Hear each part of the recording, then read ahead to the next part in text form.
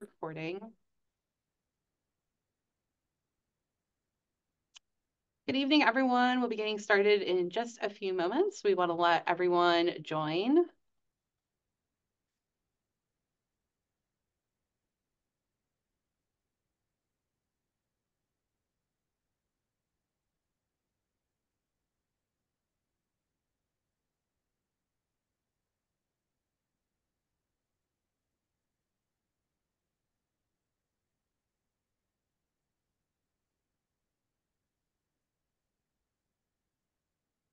All right, we still have some people joining, but we are going to go ahead and get started. So I just want to first say thank you so much, everyone, for joining us for tonight's virtual author event and discussion with Dean Koontz. Dean's newest book, The Forest of Lost Souls, was just released two weeks ago today. And it's a really thrilling examination of loneliness, survival, greed, corporations, lots of different things that I'm sure we'll talk about tonight. Um, before we get started, I'd like to remind you that tonight's event is just one of our many author programs scheduled, both virtually and in person at the Hudson Library.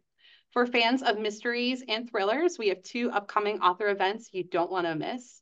Um, we have award-winning mystery writer David Rosenfelt, another author who really likes dogs, who will be at the library on November 7th to discuss his newest novel, The More the Terrier.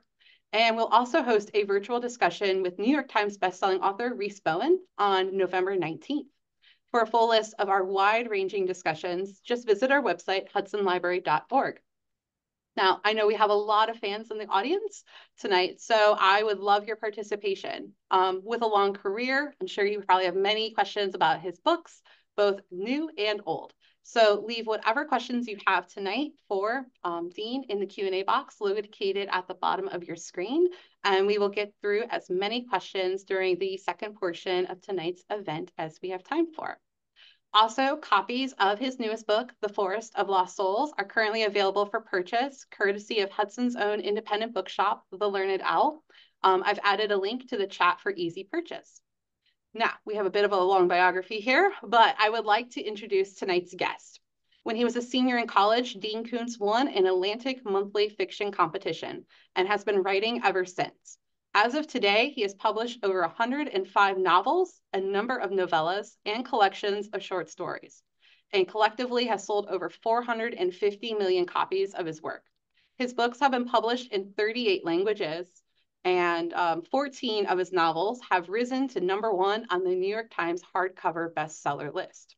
In addition to that, 16 of his books have risen to the number one position in paperback. This makes him one of only a dozen writers ever to have achieved these milestones. His books have also been major bestsellers in countries including Japan and Sweden, and a number of them have been adapted for both motion picture and series, which we'll talk about a little bit later tonight. So Dean, as we talked with before, we let everybody in. You're a little bit more selective in your time and energy with writing and how much you talk with people. So it's a real pleasure to um, speak with you this evening. Thank you for joining us. Well, let's see if I'm coherent. Uh... I'm sure you will be. Um, so let's go ahead and get started um, with our discussion this evening by talking about your newest release, The Forest of Lost Souls. And I'm always curious when we speak with authors um, about what is the lead up for writing a particular story. So, for example, is there a particular event, something you read in the news, or some spark of inspiration that led you to create this story? Well, you never know where some story ideas come from, and then others you do. Uh, and in this particular case, I remember I had written a series about a character named Jane Hawk, and I loved Jane Hawk. She was tough. She was uh, principled. She was knowledgeable in the extreme about the world she lived in, which was the world of high tech and policing and all of that. And everyone in the world was after her, and nobody could get hold of her. And that was a wonderful series of books for me because I was in love with the character. And then one day here, after I've written many other things since then, it suddenly struck me why not write a novel about a woman who was just as competent as Jane Hawk, but not in all that stuff, not in the techie stuff, not in the police stuff, but in her understanding and love of nature and her involvement with the natural world. And uh, that's sort of the little kernel with which it started. And uh, then suddenly the idea of dogs and wolves came into it. I, I love dogs and I admire wolves. I don't have one currently. And uh, then I thought, hmm, the next little thing that piled into it is this is really a book about somebody who is almost like an incarnation of the mythical figure because of her love of nature. And that mythical, mythical figure seemed to me to best be a Diana's, Diana, Roman goddess of the hunt and the moon. Uh, and so those things kind of all collapsed together at some point. And in my strange head, they made perfect sense as being longing together. And I sat down to write it and had great fun. It was fun to write a woman character just as tough as Jane Hawk, but in a different realm, in a different world, in the natural world. And it's woe to all those people who think they can take her out when they challenge her in her own environment. Absolutely. I can see the comparisons that you were saying with our main character in this book versus Jane Hawk. Um, I know my mom was a huge, as we talked about, it was a huge fan of yours, and the Jane Hawk series is like one of the closest to hers. Um, where do you kind of pull the inspiration then for writing like a really strong female character and a female lead? Is there like anyone in your life that inspires you? Um, anyone from like other books and literature? I'm just curious. Well, uh, my father was a nightmare. He was diagnosed as a sociopath. He was a violent alcoholic. But my mom, as much as she could be, was a strong woman.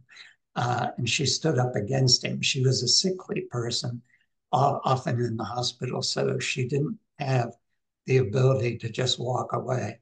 Uh, but she was strong. My wife is an extremely strong person uh, and is a model of a lot of the women in my novels. And then the one of the people in my life that had the most profound effect was a high school English teacher named Winona Garbrick. She had been a WAC in World War II. That does not mean she was crazy. It means she was in the Women's Army Corps. And uh, she was uh, a wonderful teacher and a wonderful human being. And she pushed me and inspired me in my writing. And so, and everyone in school was terrified of her, including all the six foot two inch jocks. Uh, but she was, while a great disciplinarian, a very sweet person. And uh, so she had a profound effect on me too. I think it's been that there have been many strong women in my life, and uh, I've had these examples, uh, and it's it's been a blessing. Absolutely. And on the flip side of the coin too, though, in in addition to your ability to write a strong female lead, um, I have to congratulate you, I guess that's the best way to say it, of writing honestly detestable characters. characters that are truly so full of hatred, um, lack of empathy, and just dark. Um, particularly in your newest one. Um, and I am a I'm a huge horror fan. So the fact that I had to close the book at one point and say, I've had enough of this for a moment, I need to take a step away, speaks a lot um, and I'm referring obviously to your newly appointed sheriff who um, tries to have his way with our main character at one point early on in the novel. And I'm just curious, how do you get into the mental mindset to write a character that is truly filled with so much evil? And is it difficult for you to do that? Well, uh, if you're awake and alert to the nature of the world, evil is a significant part of it. And then because my dad was who he was and what he was, uh, I, I, grew up not understanding him at all. I, I thought it was always the alcohol alone, but it often didn't explain why he would do the things he did because he would do them when he wasn't drunk. Uh, and then uh, late in life, when he was in his early, well, I guess he was about 70, uh, we had moved to the West Coast. And one of the great things about that was we didn't have him knocking on the door at three in the morning, drunk and uh, shouting and carrying on. Uh, but one day, a friend of his, his only friend, uh, called up and said, He's dying. He has a year to live. Uh, he has nothing because he was always destitute. And if you send him money, he spend it in the bar room buying drinks for everybody the same night he got the money. Uh, so he said, What can you do? And I, Gerda and I, my wife, sat down and talked to him. He had never taken care of my mother and me. So it seemed like if we didn't take care of him, I would be just doing what he had always done. So, because he had a year to live, that wasn't such a big commitment. And we moved him out to the West Coast, got him an apartment, took over all his expenses, and overseeing him as if I was his father. And then, of course, he lived for 14 years. and that teaches you to be careful about uh, the good you do.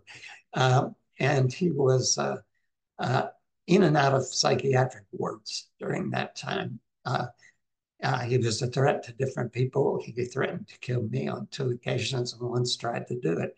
Uh, and in the fact of that, he was uh, he was in psychiatric wards where he was analyzed and given reports on him. And at first, it was said he was uh, borderline schizophrenic with tendencies to violence complicated by alcoholism, which is a really bad diagnosis.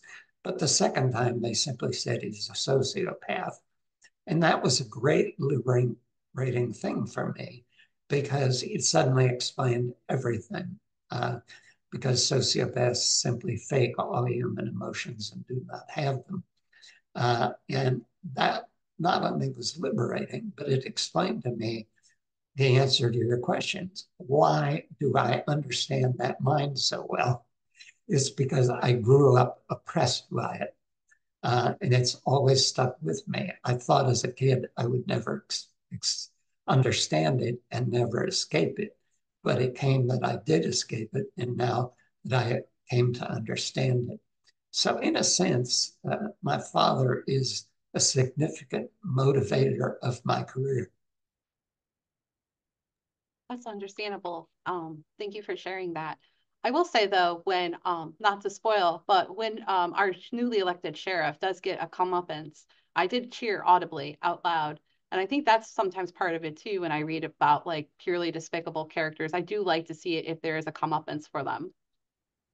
Yeah, I think the comeuppance has to be measured out to who they are and what they are.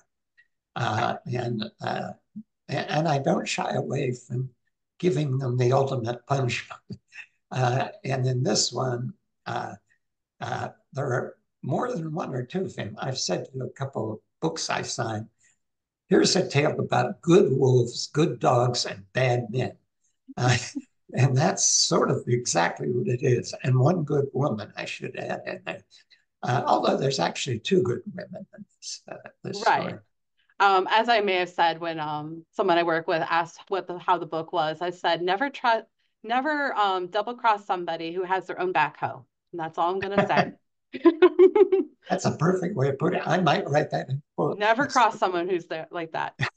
um, um, now, another thing I really thought was really interesting, but it's just more of my own personal interest in your book was it was very well researched in terms of your information about gem collecting, mining, and even like the qualities to look for in gemstones, as well as like the process of cutting them um, so that they reveal like their best facets.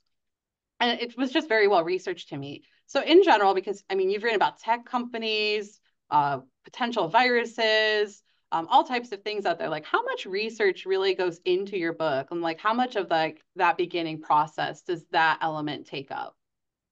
There's just a little bit at the beginning because I, I begin books not knowing what the story is, what the plot is. I know mm-hmm. my character, I know her situation or his situation. So the research takes place as I go. Uh, and uh, and I've learned I learned way early in my career don't get something wrong because you'll get letters and they won't be pleasant. Uh, I don't like getting letters that call me an idiot and a fool. Uh, I may be an idiot and a fool, but I don't like getting letters that tell me that. So as a consequence, I, I do a lot of research. And it's very odd because as a kid in uh, school, even in college, I'm sorry to tell you this, I, I hated going to the library to do research. Uh, and I wanted to read also the novels I wanted, not what I was taught that I ought to read. And as a consequence of all that, I often made up facts in papers I wrote, made up attributions to books that didn't exist. And I got away with that in high school and college. But then one day when I was an adult, uh, that was pretty late in my career, uh, I suddenly decided uh, that I had to research because I got a couple of those letters. And uh, I found out that I loved research. I loved learning stuff. Uh, and it was intriguing to pick up new information and then to fold it into the novel in a way that didn't didn't interrupt the flow of the story that actually kind of enhanced it and made it more fun and more interesting while you're waiting for the bad guy to get his head chopped off. Not, not that anyone in this book gets his head chopped off. Worse things happen to him. but uh, yeah, and I and it's still that way. I just finished a, a book set in the 30s and early 40s, and it was one of the most fun uh, things I've done because the research was almost crippling uh, because you start thinking, oh, uh, she plucked the Kleenex from the bottle. Whoa, wait a minute. Were there Kleenex in 1930? And you start having to research not just all your major issues, but all the, the little minute things about daily life. And uh, I even found that to be intriguing and interesting. Uh, so um, I hope I answered your question and go wandering off. No, you did. And I actually think that in this book, the discussion about like the gemstones and the mining, as well as the discussion about plants without giving away a major spoiler, um, I thought that was really fascinating, but also really helped kind of set the scene too about her and her isolation and where her focus really lies instead of where like the focus of us, you know, that's more like living in suburbia or a community that is regularly interacting with people where our priorities may be. Yeah, she I, yeah. She is particularly in an isolated environment. And, and nature to her is her sustenance and her uh, and her solace.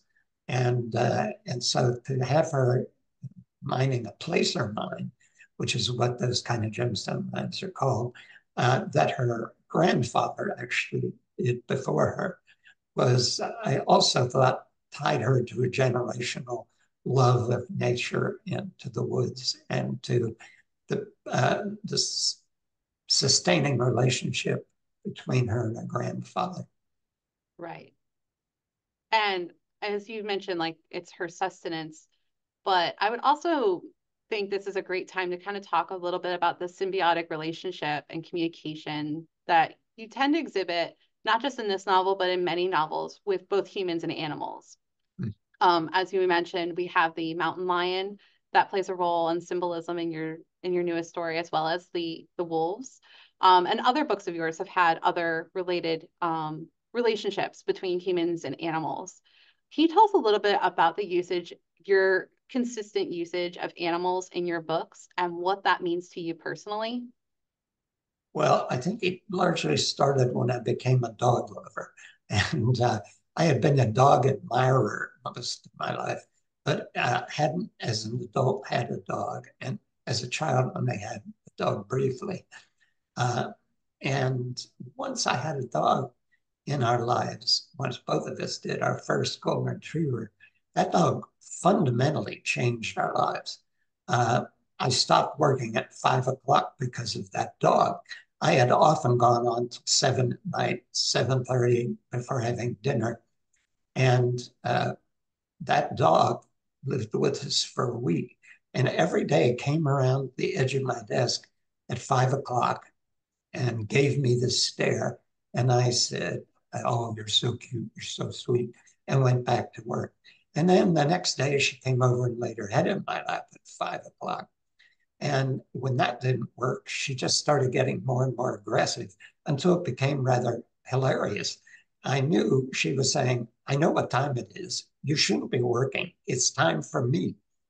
And uh, when I finally gave in and took a few days off at five o'clock, that actually ended up being the end of ever working past five o'clock. And I was fascinated that an animal could cause you to change your routine so quickly and, and so knowledgeably, in essence, about what time it was and that you were overworked. Uh, and that started me thinking about animals and how we consider them. and whether there might be more going on within them than, excuse me, we think. And I think that's entirely true now that I've had three wonderful Goldens. Uh, there's much more intelligence in dogs than we think. Uh, and uh, that starts you thinking about other animals and their place in the world and their place in our lives. And, and it starts making you get more sympathetic to them and more protective of them.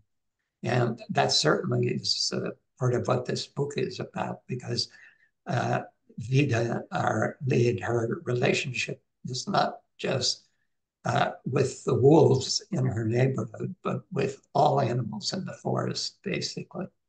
And uh, and it's not in a Disney sort of way. You know? The birds don't sing and caper around her everywhere she goes, but uh, but she does have an interesting relationship with nature and its creatures. Absolutely.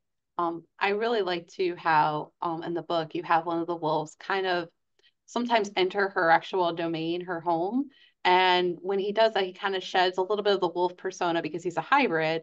And sometimes that little bit of the, the domesticated, like the, the canine in him comes out from the other side of him, where he will allow the pets and he'll want to like sleep by her bed and kind of be that little bit of more of a protector, but also wanting some cuddling role, if that makes sense. Yeah. As long as his pack of wolves don't know that he's sort of a Jack London character. He's part dog and part wolf. Uh, and uh, and leads the pack because of his intelligence. And uh, so he he wants that from her, but he kind of doesn't want the rest of the pack to know that he needs this. Although I think they figured it out because they sometimes behave a little more like dogs than wolves. He's got a reputation to keep with the pack. Yeah, yeah. Um, I know earlier, I don't know, I don't think she's walked past in your background again, but your current golden retriever was making some cameos when it was just you and I a little bit earlier. And you did talk a little bit about what makes golden retrievers um, so special to you as a breed. But what I wanted to let you know is I always love that in your biography, in the back of your books, how you always mention Trixie and Anna as Phil's these enduring spirits. And I want to know what does that mean to you? Like, how do these dogs not only stay with you in the present, but stay with you moving forward too? Well, they were so important in our lives uh, and, and had such great impact in our lives uh, that uh, when they're gone, I wrote an entire book about Trixie, A Big Little Life. Uh, and I wrote, uh, I wrote a book with Anna called Ask Anna, which was a dog book of dog advice, and uh, which is a lot better than human advice generally. And uh, uh, they were just so deeply a part of our hearts that uh, they never are going to be gone. We have a little memorial space in the backyard where there are stones with them and their pictures. And uh, and then the, Elsa came into our lives, and uh, it's one of the hardest things is putting down a dog. Uh, and, and it kind of, I think, changes you to be there in the moment. That has to be done. And, uh, and so you want to say, uh, I had to do this to you, but uh, you're, you're not going to ever be let go. Absolutely. And that's such a powerful thing. I know as a dog lover myself. Um, okay. I want to, um, I do have one um, last question before we kind of step back and really talk about your career as a whole before we move on to audience questions. And I would love to know, just as a writer, what decisions come into play if a book will be a standalone or a series. And the reason why I'm saying this is because it wasn't just my thoughts, but the thoughts of some other people that thought, okay, so a lot of people end up getting, uh, and they're no longer with us at the end of this book, but it seemed like there were still some loose ends do you ever decide after the fact, you know, I want to keep going with this book and turn this into a series? Or do you know at the time of writing, this is it, this is the story, and this is going to stay contained in this one volume? Uh, generally, I know. Uh, I, I said for many years I'd never write a series. Uh, and then uh, suddenly I, I started the Christopher Snow series, which was to be three books. And I apologize to everybody uh, that I never wrote the third. But the problem was the publisher hated book number two, which I thought was just as much fun as book number one. But if I had delivered book number three, that would have been the end of our relationship. So I said, okay, I will. Uh, I'll deliver a couple other books and then go back to it. But that continued to be my publisher, and it just never quite happened. And then I changed publishers, and now the first two books are stuck with the other publisher, and I can't do the third. So it was sort of a trap. And I said, that's why I don't write series. You never know what's about to happen in the business world that you can't control. Uh, but I got to book with Odd Thomas, and I knew early on in that book it was a series. I thought it was a series of four or five novels. It turned out being eight. Um, and I love that series. I just had the greatest time with it. And they, uh, when uh, Jane Hawk came into my mind, actually within the second chapter of the first book, I thought, whoa, this is not one novel. This is a series of novels that turned out being five. Uh, so it isn't anything I ever go into knowing it is. Uh, it's it's basically, you know, it's the character telling me, you're not going to be done with me one book. Uh, there are levels to me you can't explore in. And that always, when I hear that, when I feel it, uh, then you pursue it. But there are a lot of things there are certain books I would have loved to write sequels to, like Life Expectancy. Uh, but uh, I knew that at the end, I would be stretching it if I tried to carry these characters forward. They kind of resolve themselves in one volume. It's just an instinctive thing, uh, I think, and and you sort of just trust your intuition. That makes sense. I will say, um, just because it's a good segue since you mentioned him, and we have two people already that have said that Odd Thomas is their favorite character that you've ever written. And I'll admit too that um, of your series, Odd Thomas was my favorite as well. And you say he's special. What makes that book and that main character so special to you? Uh, it took me a while to figure out. I, have told the story. I was working on a novel called The Face. I was about halfway through it and into my head came the line, My name is Odd Thomas. I lead an unusual life. I had no idea where that came from. It had nothing to do with what I was writing. But I write nothing out longhand. I, I, my handwriting is abysmal. Uh, but I keep a yellow pad beside it to write little notes to myself. Don't forget this or that. And I turned to that and I wrote the line out because I thought it was interesting. Next thing I know, I was writing a story and I wrote the first chapter completely by hand. Uh, and I couldn't wait to finish the novel I was on, even though I was enjoying it, so I could move on to Odd Thomas. Uh, and he just took control of me. And it was, uh, uh he became so real uh, that I, I thought, I, I don't know how many, are there 20 novels here? Or uh, is there one? And I think what it was about uh, Thomas was his humility was such a strange quality for a lead in a book with a lot of action. Uh, books with a lot of action, the guys are not fry cooks in a little restaurant. Uh, and they're not Thomas who doesn't want to pick up a gun, but will beat the bad guy up with a broom. Uh, he's, and he'll use a gun if he has no other choice. But uh, he was so quirky. And I thought, uh, I don't know where this has come from.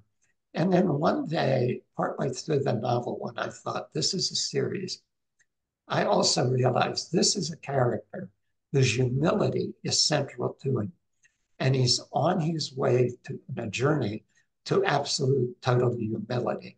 And the night I said that to my wife, this is going to be about a character who is getting ever more humble as he moves along and ever more accepting of the world as it is and his ability, inability to really effectively change it except in small ways.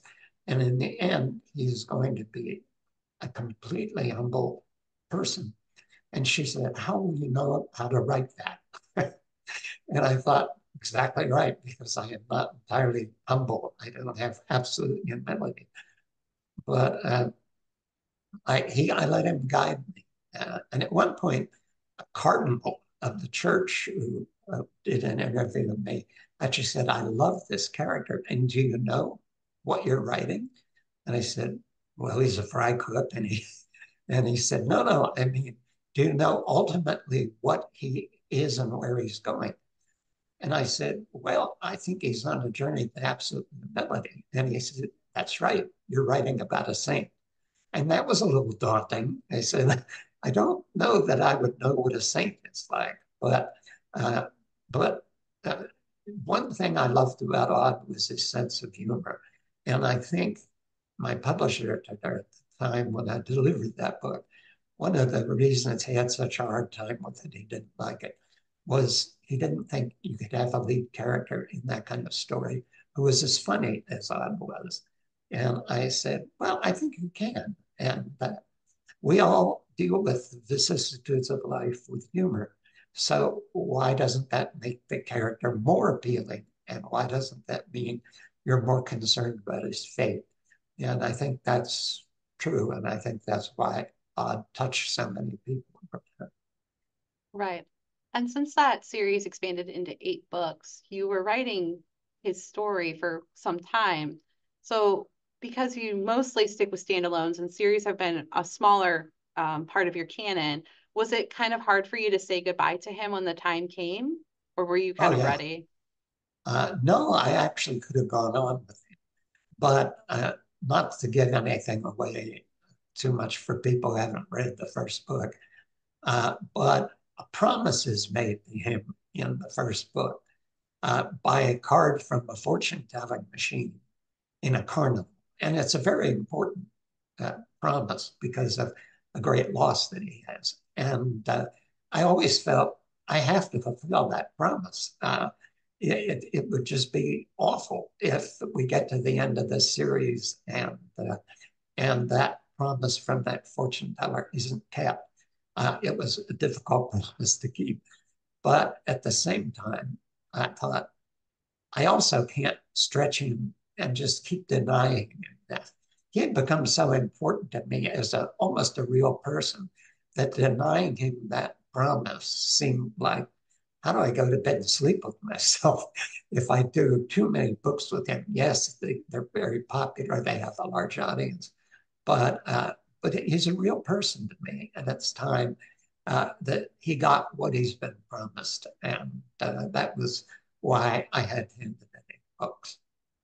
Right, and I can say too, like as a reader of series, um, there's something kind of comforting when you do have that series and you can go back and you have it's like reuniting with an old friend almost especially if a year or so has gone by between releases as if you're reading them as they come out um, i know that i have some that it's almost like comfort food for me in that way but it it is bittersweet when they do end because then you almost do feel like you're losing a friend it, it's it's tough i got teary at the end of writing the last book so it was uh, it was a little tough, but it had to be done. Right. So let's go ahead before we segue to audience questions. I have a couple questions just about your career as a whole. Um, because you're so accomplished, you have published so many novels, um, and you did um, provide credit to your teacher earlier in tonight's discussion, who really encouraged you to keep writing. But I was wondering, what was this like? Was there a pivotal moment where you're like, I am going to become a writer and make this my full career. Like this is becoming my identity. Well, it, I was in college, I was a slacker student. I always did the minimum to get by. Uh, and I was, uh, that was in my, I guess it was like my junior year, uh, that I wrote stories for the college magazine. And uh, Unbeknownst to me, a professor submitted one to that Atlantic Monthly College Writing Competition. And I was in a small uh, state college in Pennsylvania. And English teachers have been submitting uh, stories to that contest for decades, and they'd never had any uh, prize winners in college. And suddenly I won a, one of the prizes in the contest. And it made me Teflon. I I had been a C student and suddenly I was an A student. And in my senior year, I could do no wrong. Uh, I was still the same kind of messed up kid, but because I had won that prize from the Atlantic in the competition, every teacher thought I was this godsend. And I thought, this is interesting. Uh, I'm still the goofball I was, but uh, they think I'm a genius. Uh, and that was the first thing that I thought, wow, this writing thing can give you certain notoriety, can give you a reputation that's different from what you've always had. And then I, there was no money prize. It was a certificate and, and uh, uh, to be framed and kept on your wall. And uh, so I sent the story to a magazine and they bought it. And it was just $50. But in those days, 50 was like 500 now. And paperback books cost 50 cents. So suddenly I could buy a lot of paperbacks. And that was where I began to think, is there a, a life's work in this? And I had always been a heavy reader, but I never imagined I could also be a writer. And then after my senior year, uh, I got married to Julia. I started writing, and the number of the stories sold. And it became a very sort of exciting existence. Uh, there was a lot of rejection, and you had to learn how to cope with that.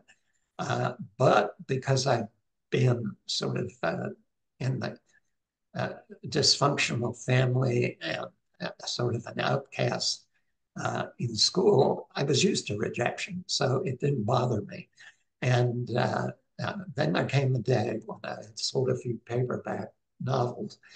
They weren't very good, but I'd sold them. I wasn't making enough to live on. And my wife said, I know what you want to do. You want to write, you don't want to teach school, because that's what I was doing. And she said, I'll support you for five years. And if you can't make it in five years, you'll never make it. Uh, and uh, I grabbed the opportunity. I became uh, a word bum. Uh, everyone in the family, hers and mine, thought I was a bum. Um, she would spend her life supporting me. Uh, but it was the two of us pulling together.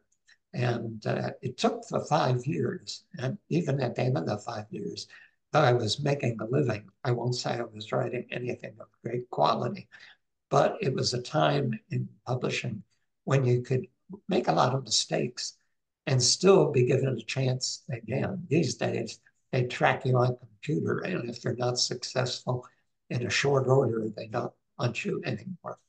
But in that day, you could have failure after failure that give you another chance because they wouldn't realize that the other publisher with you.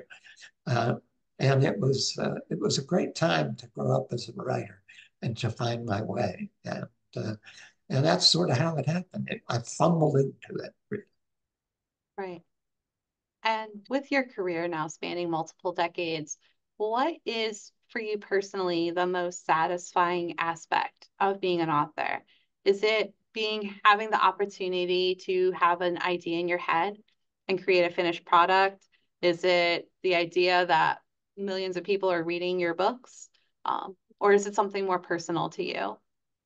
It, it, it, a lot of people think this isn't the case, but it is the case. Otherwise, I wouldn't have spent all those years where I was just hanging on by a thread still doing it. The thing I love about it writing is writing. It's that challenge that you have when you sit down at the keyboard. And it's the exhilaration you get when things are working, when a character comes alive, when the story starts to go somewhere you never anticipated, and you recognize it as the right place to go. Uh, I am the only best-selling writer I know that never did a national book tour. I've always refused. I have minimized my publicity footprint. I've done enough to satisfy publishers and never as much as they want, uh, because that would take too much time away from the keyboard. What I've loved about this life and what I still love about it is I get to do something, turn a living that is play as well as hard work. And most people are engaging in hard work that they don't find very much play in. So I recognize what a blessing that is. And uh, it's why I'm still doing it at my age. I, I keep being asked, when are you going to retire? And I say, when I fall dead at the keyboard. Uh, and uh, hopefully that's no time soon. Uh, so it's just the, the, the opportunity to have been able to do it and to live my life you know, in a creative endeavor that is, is the best thing about it. I would still be doing it uh, uh, just as I did for about 15 years with little financial reward. If it still had been no financial reward to speak of, I'd still be doing it. And fortunately, it turned out the other way. Absolutely. And I think something special about your books is I, you know, the big authors, the other ones that share the accolades with you in terms of how many books have been sold, how many number one New York Times bestsellers, you can very easily pinpoint, be like, that's a straight thriller. This is a straight mystery. This is straight romance. Um, but with you, I kind of almost label you as like your own genre, if that makes sense, where you really incorporate elements of horror, thriller, dystopian, science fiction, fantasy elements um, all together into this one concoction that really, I think, makes you stand separate from other contemporaries or when people try to lump you as oh you're just horror or you're just thriller. And that's not quite the right thing. Um how do you kind of juggle all of these different um genres to make your own um kind of like your own sound? Not your sound but you know your own vibe essentially to your books it's uh believe me uh, there's not always been support for that among publishers. They they do want you to keep writing the same book uh, because it worked before, and they'll do it with some slight redressing. And I can't do it. I I I probably when I was younger was mercenary enough to do it if I could have done it, but uh, it just didn't work out that way. And I think it's partly because I've always been a reader in just every genre. Uh, and I consider literary fiction another genre. It's it's it's nothing necessarily more uh, special because every genre has produced great work. Uh, and uh, so I, I, was always motivated to, uh, I want to put this into the story. I want to do this with it. I want to do that. And in the early days, writing a cross genre novel, uh, publishers hadn't seen it and they didn't like it. Um, I was all, my agents, early agents, were always pushing me to stop this. Uh, you can't have a career doing this. People buy a book thinking it's the thing they love, and it's partly that, but it's other things they don't love. And my attitude was, well, then I'll make them love those other things. Uh, every genre has great strengths, and pulling them together in, in one book actually seems to me to make the book more flavorful, more interesting, and and more like life, actually. Uh, and uh, so I just kept at it, and thank God it worked because I, I think uh, I probably couldn't have kept going as a writer if I was asked to write uh, the same book over and over. Well, I was asked, but I simply couldn't do. Absolutely. And I think that um, it can kind of also serve as kind of a gateway too, in some ways. Whereas, like for example, I'm not um, the biggest like straight science fiction reader. Uh, books that are heavy in sci-fi. The library, library closing announcement.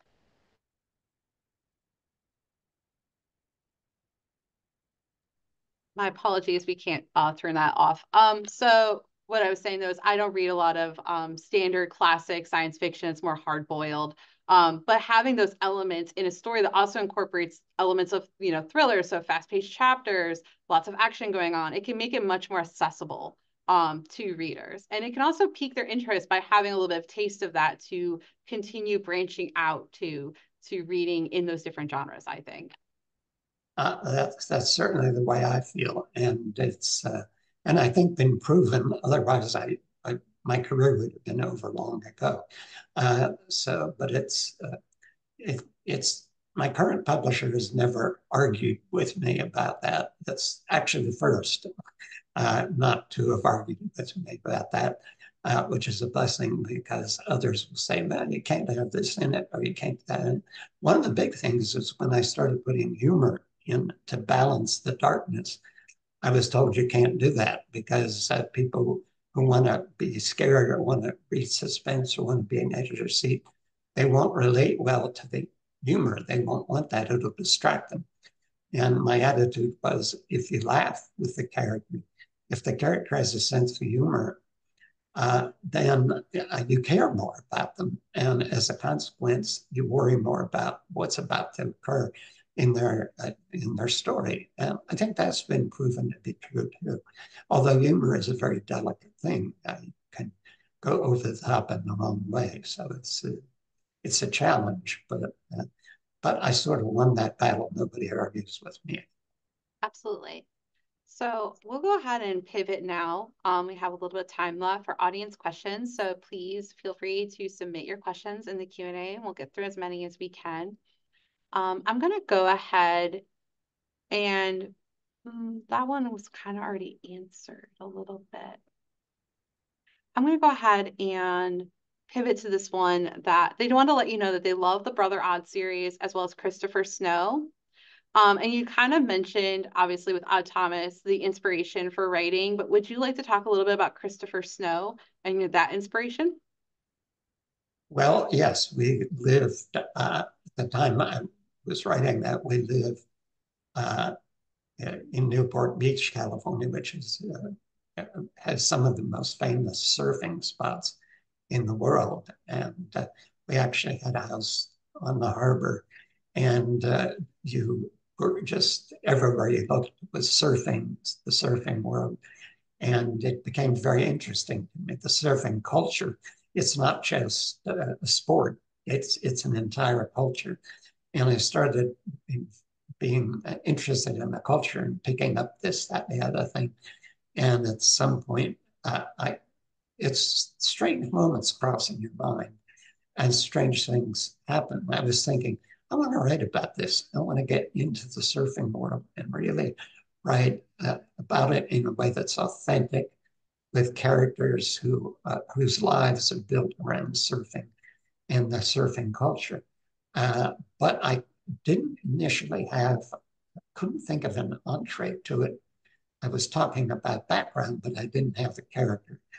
And then at one point, I read this article about this uh, illness, xeroderma pigmentosum, about people who lose the ability to process light through their skin. And if they get uh, sunlight, lamplight, too much lamplight, too much of almost any light, uh, can end up killing them through multiple cancers. And I was fascinated with that.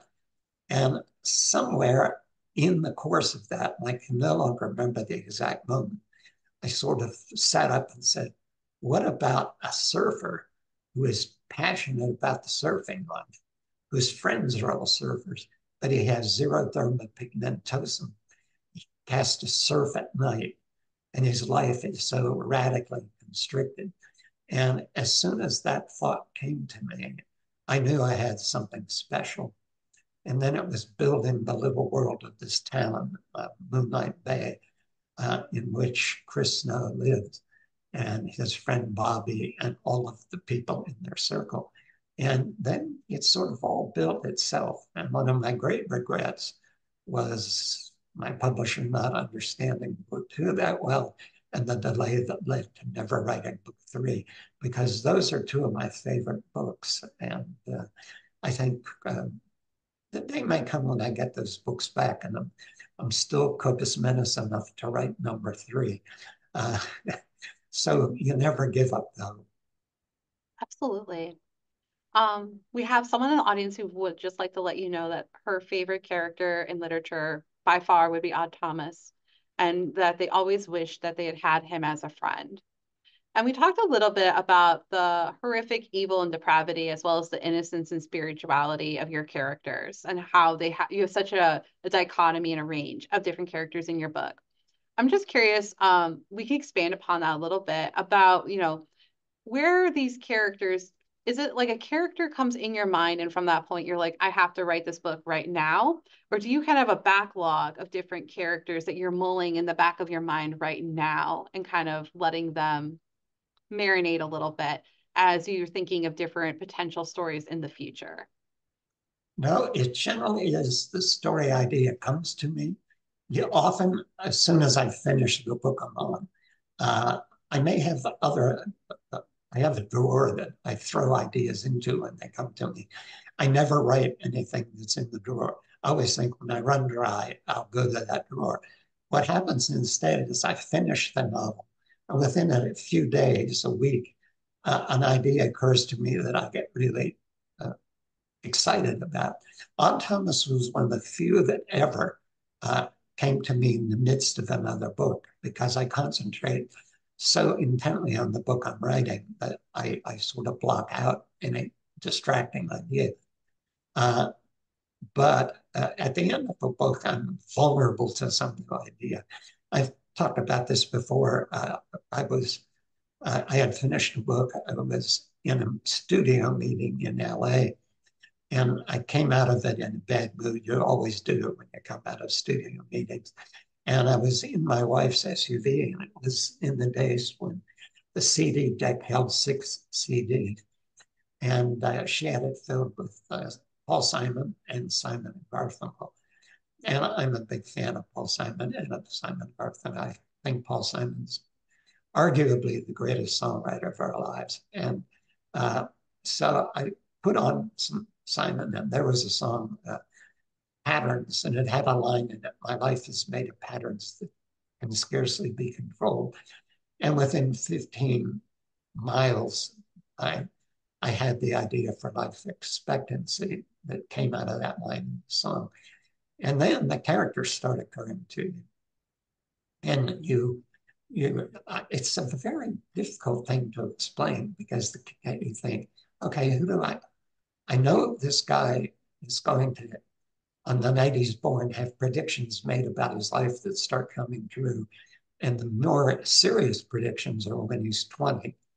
Uh, and his life becomes in jeopardy. And since all the ones that were related to his birth were true, he knows these are going to come true as well. Now, who is he? Uh, I have a tendency to like my characters. Sometimes I go with the character like Jane Hawk, who was a former FBI agent. But I, sort of like people who are everyday people who have not everyday challenges to face. And for some reason, I hit the character Jimmy Tock who was a baker, and his father was a baker, and and that's his world. And then suddenly, because of this thing that happens the night of his birth, he's thrown into this horrendous series of events starting when he's 20 years old. Uh, so the characters come to you as the story matures. At least that's how it works for me. And I didn't know who the villains were until I was writing the opening sequence. And it turned out one of the villains was going to be a clown, which, believe me, was something I tried to avoid when the idea came to me. I said, it can't possibly be a clown. And then I thought, well, it could be not a big red shoe, bulbous nose clown. It could be an Emmett Kelly kind of clown in a ragged suit. And then he came together in my mind. And when the novel started working, I realized, good heavens, this novel wouldn't work if he was anything but a clown. Uh, and that makes you wonder where all this stuff actually comes from. How much of it is out of your own head? And how much of it is coming to you about something in the ether? And uh, I don't want to get too mystical, but there is certainly a mystical element to it. Absolutely. Uh, see, we have a couple questions left. We'll try and get through as many as we can. Michael would like to let you know, just as simple, as a longtime fan of your works, I want to say thank you for all of your many great works, which I agree, many great works. Um, you know, I do have a side question. You mentioned earlier that when you make you make mistakes, you'll get angry letters from fans. But do you appreciate receiving um, positive letters from your fans? I receive, I, I accept positive and negative. Uh, it uh, it doesn't matter to me. It's mm-hmm. uh, uh, it's it's very sweet that they, I used to do book signings that I don't do for security reasons got pretty heavy at one point, and uh, but uh, we would do signings and two or three thousand people would show up, and it was sort of amazing. Nobody would come up and spit on your shoes and say, I hate what you do. They would come up and tell you how much they loved it or how one book had such a profound effect on them. You can't not love that. It's uh, I was a kid who grew up in awful circumstances, and it was books that saved me. It was writers who showed me my life wasn't the only life that people live. When you're a kid, you don't know. You think every family is as dysfunctional as your own until you see examples otherwise. And so it was so important to me how books changed my life. That when people say you give them hope or you or you, uh, you make them laugh or you entertain them, it's the greatest thing you could get. So um, I would never say get out of my face. Oh, that's that's really nice to hear that you still appreciate the feedback from your fans. Um, I think that's really special. Um, I do have one last uh, question for you before we wrap tonight, because I know people have already, um, you know, this has been out now for two weeks. I'm sure plenty of people have already grabbed up their copy. If you haven't, though, you can grab your copy through the Learned Owl. We put the link in the chat for you. And now they're thinking, okay, I've got my Dean fix. When will the next Dean book come out? So I have to ask, what's next for you in your publishing catalog? Um, and can you give us any little sneak peek about what to look forward to? Uh, well, there's a book coming, uh, I think it's May of next year, called Going Home in the Dark. And it's a, a story of uh, some friends who were all outcasts in high school, three guys and a girl. And they were all geeks. And uh, uh, they sort of sheltered together in their little club and, uh, have fended off the world. And now they're all 35, and one of them falls into a coma. Uh, and he's the only one that never left their little Midwest town. Uh, and the other ones have all succeeded, surprisingly. One is an highly successful actress, one is a successful novelist, the other is uh, an artist uh, whose works sell very aggressively. And they all want to go home because the one remaining friend is in a coma. And one of them says, you know, it's like when we were in high school and all those people were in comas. Most of them came out of it.